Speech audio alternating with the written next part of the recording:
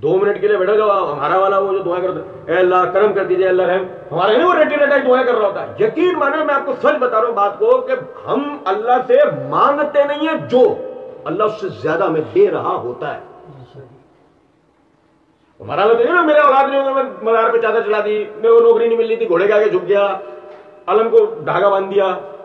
हमारा वाला तो ये बातें कर रहा है इससे कई गुना बड़े मामलाते हैं। जो बगैर मांगे वो हमारी अकल में ही बाज नहीं आ पाते, वो अल्लाह रब्बुल इज़्ज़त हमें वो चौबीसों घंटे दे रहा होता है। चौबीसों घंटे? इससे बढ़ के क्या हो सकता है? आपके अंदर है ना इंस्टॉल्ड है, सांस लेना। नहीं समझे? नहीं समझे? मैं मुट्ठी बंद करना चाहूँगा तो करूँगा ना, या खुद ही जाइए। मैं मुट्ठी बंद करना चाहूँगा तो होगी ना भाई? दिमाग में मैं सीख दिया, उंगलियों उंगलियाँ बंद हो गई। ऐसे है तो ऐसा होता है, मैं सांस लेना चाहूँ तो लू वरना रोक लू। क्योंकि जो मैं करना चाहता हूँ ना, उसे भूलना भी जानता हूँ। ये फितरत में मेरे रखा गया है। जो मैं करना चाहता हूँ ना, उसे मैं भूलना भी जानता हूँ। जो अगर मैं सांस खुद से लेने लगा तो एक दिन उसे भूल भी सकता हूँ। तो नतीजे में क्या होगा?